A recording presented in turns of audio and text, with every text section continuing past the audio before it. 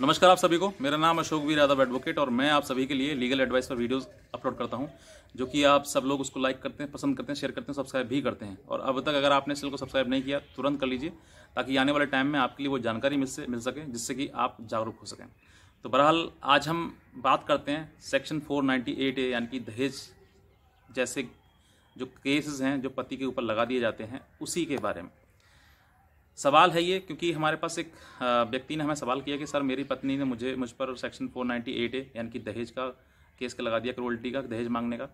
और section 125 CRPC और section 12 DB ये तीन केस मेरे पर लगा दिए गए हैं। और अब केसेस के बाद मैंने काफ़ी कोशिश कर ली कॉम्प्रोमाइज़ की, फैसला करने की।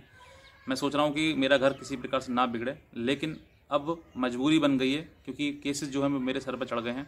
मुझे बार बार थाने से कभी नोटिस आ जाता है तो कभी सम्मन आ जाता है तो कभी वारंट आ जाता है, मैं परेशान हो गया हूँ। और अब मजबूरी बन गई है मेरे लड़ना उससे। अब मुझे बताएँ सर, मैं क्या करूँ? तो ऐसे ही ये सवाल है। तो इस सवाल का जवाब जब हमने दिया, वो वो भी आप सुनिएगा। लेकिन उससे पहले मैं आपसे ये भी रिक्वेस्ट करूँगा कि अगर आप चैनल पर नए हैं तो आप तुरंत सब्सक्राइब कर लें और इस चैनल इस वीडियो को दूसरे को भी शेयर करें, ताकि वो भी इससे कुछ सीख सकें और अपने बचाव में कुछ चीज़ें समझ सकें। तो ऐसा जब इनका इनका इन्होंने बताया कि मेरे पास मेरा जो मेरी जो पत्नी है पत्नी के साथ मेरा आ, किसी प्रकार से डिस्प्यूट हो गया था। और डिस्प्यूट क्या था मैं उसके बारे में नहीं बता पाऊँगा लेकिन आपको ये बताऊँगा कि दोनों का डिस्प्यूट हुआ। डिस्प्यूट होने के बाद आ, ये दोनों लगभग एक साल भर अलग रहे एक दूसरे। और उसके बाद इस इस दौरान इनकी बातें चलती नहीं मतलब कॉम्प्रोमाइज़ की, लेकिन कॉम्प्रोमाइज़ किसी प्रकार से नहीं हो पाया, क्योंकि कहीं कंडीशन लड़की की तरफ़ से थी, कुछ लड़की, लड़के की तरफ़ से दोनों एक दूसरी कंडीशन नहीं माने, और नहीं माने तो फिर दोनों में लड़ाई झगड़े चलते रहे। एक साल बाद पत्नी ने इन पर सेक्शन फोर नाइन्टी एट यानी कि दहेज मांगने का इन पर मुकदमा कर दिया, और मुकदमे के दौरान इसमें जो थाना था, थाने से इनको फ़ोन आया, इनको बुलाया गया, लेकिन ये बिल्कुल वहाँ पर नहीं गए। हो सकता है डर की वजह से ना गए हों कि जेल वगैरह ना भेज दें, या फिर ये किसी प्रकार से नहीं गए वहाँ पर। और उस दौरान पर इनकी एफआईआर लिखने के बाद इनकी जो चार्जशीट थी इनकी अगेंस्ट लग गई और लगने के बाद वो कोर्ट में पहुँच और इस दौरान की कोई अरेस्टिंग तो नहीं हुई लेकिन आ, ये मेडिसिन में जो मेडिसिन था क्योंकि एफआईआर होने के बाद अब एक एक रूल है कि मेडिसिन होता है पति पत्नी का ताकि वहाँ पर भी किसी प्रकार से इनकी बन जाए। वहाँ पर भी नहीं बन पाई और मेडिसिन फेल हो गया और फेल होने के बाद जो चार्जशीट लग के उसमें ये कोर्ट चला गया। कोर्ट से इनके पास वारंट आया अरेस्टिंग के लिए गिरफ्तारी के लिए। इन्होंने उस समय पर तो टाल दिया उसको कि हम कोर्ट में जाके अपनी जमानत करा लेंगे। और उसमें एक साल, एक महीने की इनके पास इनके पास डेट लगी थी। एक दो महीने का समय मिला था इनको। उसके बाद इनका इनके ऊपर इन्होंने, पत्नी ने सेक्शन 125 सीआरपीसी का केस भी कर दिया उस दौरान। फिर उसके बाद इनका, इनके पास उसका सम्मान नोटिस आया। इन्होंने वो रिसीव कर लिया। रिसीव होने के बाद अपियर हो गया उसमें, अपने वकील के द्वारा।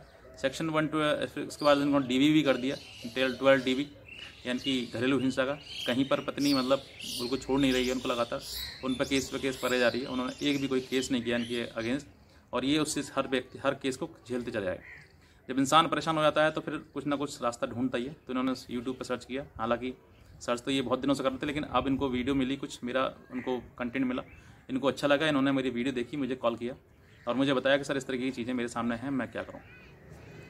तो ऐसे समय पर देखिए बहुत क्रिटिकल सिचुएशन सिचुएशन है कि एक पति है, पति पति के परिवार वाले पूरा एक केस में फंस गए हैं और सेक्शन 125 यानी कि उनके साथ मेंटेनेंस भी जोड़ दिया गया, फिर डीवी भी जोड़ दिया गया। कई केसेस उन पर लगा दिए गए और लगाने के बाद इंसान बहुत परेशान हो जाता है, समझ नहीं आता उसको क्या करा जाए। तो ऐसे समय पर अगर आपको साथ में भी अगर ऐसा कोई घटना होती है, जिसमें कि section four four ninety eight A के साथ में डी वी मेंटेनेंस सारे केसेस अगर आप पर लगा दिए गए हैं तो यहाँ पर क्या करना है, आपको किस तरीके से इन चीज़ों को सेटल करना है हैंडल करना है तो मैं आपको कुछ बात बताता हूँ। हो सकता है कि आपके ये काम आ जाए। नहीं तो लास्ट रास्ता यही है कि आप कोर्ट में ही प्रोसीड करें फर्दर लड़ाई, झगड़ा, लड़ाई करें। कोर्ट में लड़ाई कोर्ट की लड़ाई लड़ें। लेकिन उससे पहले मैं आपसे कुछ ये भी कहना चाहूँगा कि अगर आप अगर आपके पास में सेक्शन फोर नाइन्टी एट का केस हुआ है तो उसमें पहले बेल ना कराएँ। मैं एक एक करके बताऊँगा एक एक केस करके, एक में क्या करना है, दूसरे में क्या करना है।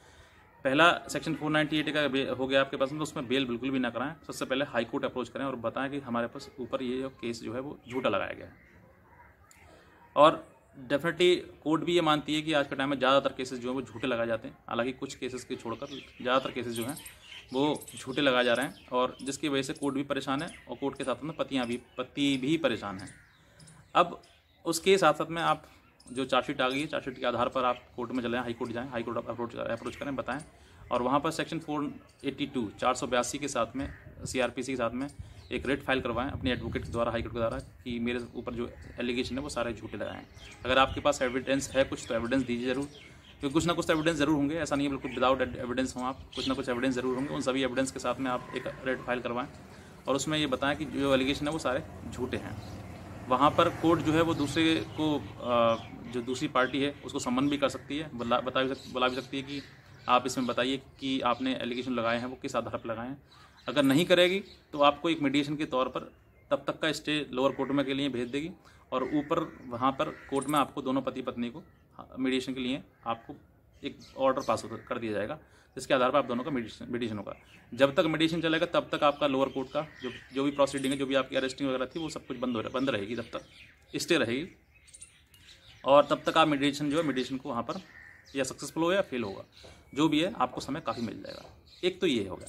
दूसरा डीबी डीबी में भी उसमें झूठे एलिगेशन लगाए होंगे आपको, आपके ऊपर कि मारा, पीटा, मेरे परि मुझे गाली गलौच मुझे प्रताड़ना दी। बहुत सारी चीज़ें हैं, जो भी अगर झूठे हैं तो उसको भी आप हाई कोर्ट ले जाएँ, ताकि आप अपने चीज़ों को, जो भी हैं, वो सही चीज़ों से सही ढंग से आप उनके ऊपर बता सकें कि सर ये है और उसका जो सेक्शन फोर नाइन्टी एटी का जो ऑर्डर आया है हाई कोर्ट के द्वारा, वो भी उसको साथ में लगाएँ कि इसने मेरे मेरे साथ में, मैं, मुझे मेरे ऊपर ये चार सौ अट्ठानवे का केस भी कर दिया है।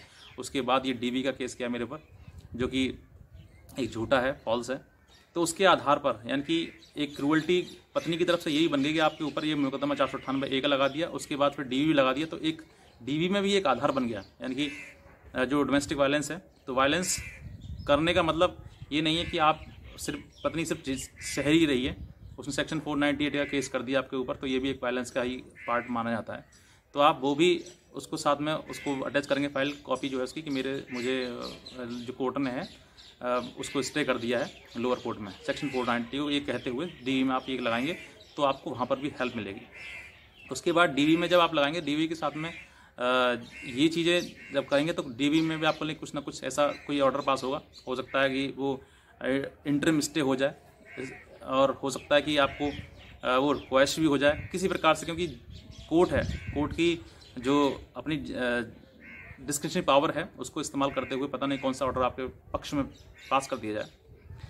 अब ऐसे ही सेक्शन 125 का है। यानी कि जो मेंटेनेंस है, उसके साथ में।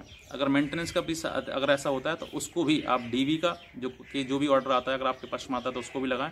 सेक्शन 498 में आपको आया तो वो भी लगाएँ। उसको लगाते हुए, और लड़की की जो भी क्वालिफिकेशन है, उसको, और लड़की के पास जो प्रॉपर्टी है जो कमाती है कमाती है, नहीं कमाती है, जो भी, वो भी आप बताएँ। अगर अच्छी क्वालिफिकेशन है, और क्वालिफिकेशन के बाद अगर लड़की नहीं कमाती है तो वो भी एक आधार बन जाता है आपके लिए बचाव का, कि इतना पढ़ने लिखने के बाद भी अगर नहीं कमाती है तो इसका मतलब वो करती क्या है? इसका मतलब उसको करना चाहिए कुछ ना कुछ। तो वो भी आपके पास, आपको एक ग्राउंड मिलेगा और उससे भी आप बचेंगे। साथ ही साथ में लड़की के पास जो भी प्रॉपर्टी है, जो भी उसके अकाउंट वगैरह में पैसा है, अगर आपको किसी चीज़ से, किसी तरीके से मालूम है उसको तो आप वो भी उसके साथ एविडेंस दें कि ये चीज़ें इसके पास हैं ऑलरेडी और इसके पिता के पास प्रॉपर्टी क्यों? क्योंकि अब राइट बनता है पिता की प्रॉपर्टी में बेटी का भी। तो अगर पिता के पास कितनी प्रॉपर्टी है तो उस प्रॉपर्टी का भी आप हवाला दें, कहते हुए कि इस पर इतनी प्रॉपर्टी है, उसकी इसके पिता के दो बच्चे हैं, एक दो हैं, तीन हैं, जो भी है, कि उसमें इतनी डिवाइड होंगी तो इनके पास इतनी प्रॉपर्टी आएगी जो कि इतने प्रॉपर्टी की मालिक है।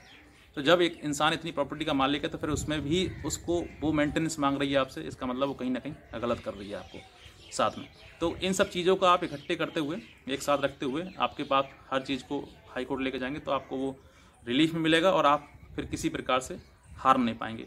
और दूसरा जब इतना सब कुछ हो जाता है तो आप बेहतर एक अपना जो चीज़ें जो एक लगातार नोटिस वगैरह आती है, सब कुछ ये होल्ड हो जाएँगे, सब कुछ कोई दिक्कत आपको परेशानी किसी प्रकार से नहीं आ पाएगी। और जब इतना सब कुछ हो जाए, और उसके बाद आप खुद एक मेंटेनेंस का केस करें उस पर ताकि आपको भी, क्योंकि जब इस पर इतनी प्रॉपर्टी है तो आपको भी मेंटेनेंस लेने का एक अधिकार है अकॉर्डिंग टू द सीआरपीसी तो आप भी उस पर मेंटेनेंस केस कर सकते हैं। और अगर आप आगे और भी मैं आपको इस इस पर एक, एक विस्तार पूर्वक वीडियो बनाऊँगा कि पति भी किस तरीके से मेंटेनेंस मांग सकते हैं पत्नी से। तो बस इतना कहना चाहूँगा और बाकी अगर आप चैनल नए हैं तुरंत सब्सक्राइब करें ताकि ऐसी ही जानकारी आपके लिए मिल सके महत्वपूर्ण जानकारी जो कि आपको और आपके परिवार को बचा सकती है। तो बस इतना कहना चाहूँगा बाकी आज की वीडियो देखने लिए आप सभी का बहुत बहुत धन्यवाद।